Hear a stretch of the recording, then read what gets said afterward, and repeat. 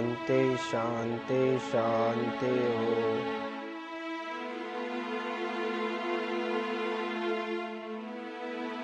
ठहरिए। क्या हुआ पुजारी जी? आप मंदिर में ऐसे वस्त्रों में प्रवेश नहीं कर सकते।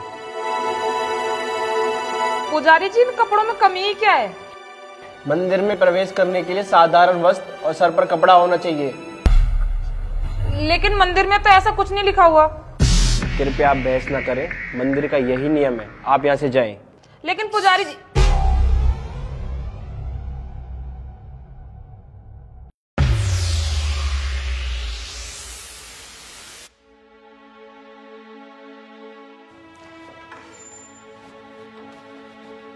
अनु भैया, उस पुजारी ने ना मुझे मंदिर में नहीं जाने दिया।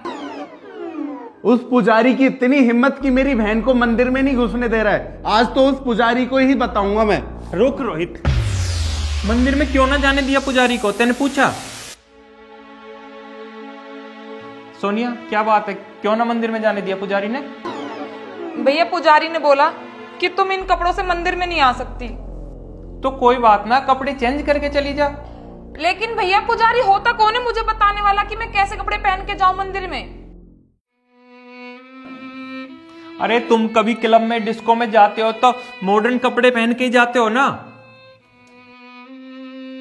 अरे तुम जिम में एक्सरसाइज करने जाते हो तो वहाँ बाहर लिखा हुआ होता है ना कि चप्पल में अंदर आना अलाउड नहीं है। अरे तुम स्कूल में जाते थे ना तो प्रॉपर यूनिफॉर्म में जाते थे। क्यों? क्योंकि स्कूल के अपने रूल थे। वैसे ही मंदिर का भी अपना रूल है। अरे तुम कभी ब्याह शादी में जाते हो तो वैसे ही कपड़े पहन के जाते हो ना, जैसे ब्याह शादी में पहने जाते हैं। फिर मंदिर में साधारण कपड़े पहनने से क्या दिक्कत है?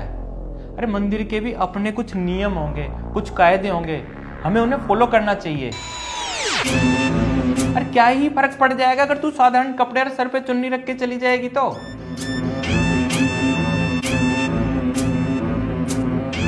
बिल्कुल पागल है। और रोहित, कभी भी जल्दबाजी में फैसले नहीं लेने चाहिए भाई। सोच समझ के लेने चाहिए।